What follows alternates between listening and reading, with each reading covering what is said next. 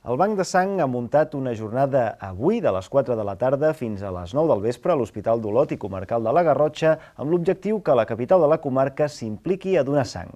La campanya se celebra en unes dates assenyalades com ho són les prèvies al Nadal perquè és una època de l'any en la qual tradicionalment baixen les donacions un 25%.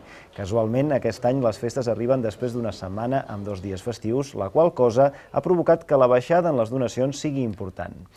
Al tractar-se la sang d'un producte que caduca, les donacions són necessàries cada dia. A Catalunya hi ha actualment sang per cobrir les necessitats dels nou següents dies. Només hi ha tres requisits per donar sang. Ser major d'edat, pesar 50 o més quilos i no estar embarassada en el cas de les dones.